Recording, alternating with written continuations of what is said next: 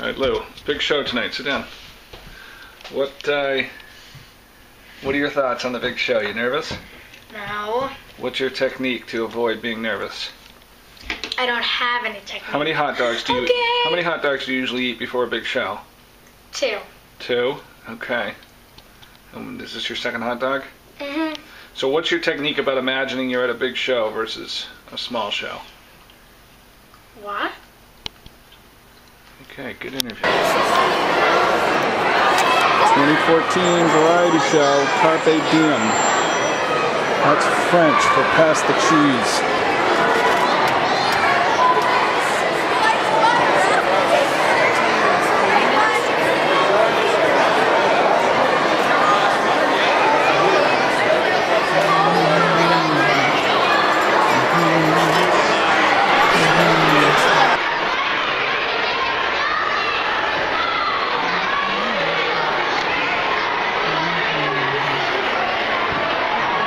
Where's his uh, thing?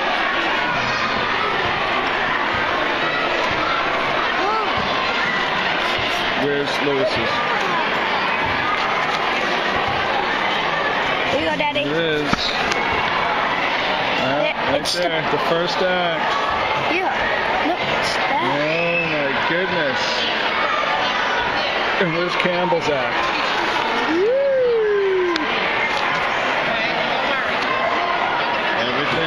Everything